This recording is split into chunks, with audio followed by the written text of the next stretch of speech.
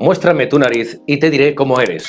Por ejemplo, la del tabique nasal largo. Son personas con mucha paciencia y de relaciones largas. Todo lo contrario, al tabique corto, que son personas impacientes y si es muy corto, tendencia a la psicopatía. Vemos la convexa, que son personas con capacidad de mando y apasionadas. La del tabique nasal recto, con gran sentido de la justicia. Y la respingada o del niño, son personas un tanto inmaduras y muy caprichosas. Luego vemos la retraída o griega, que son personas que no se meten en la vida de los demás. Todo lo contrario a la proyectada, que existe necesidad social y también tendencia al cotilleo.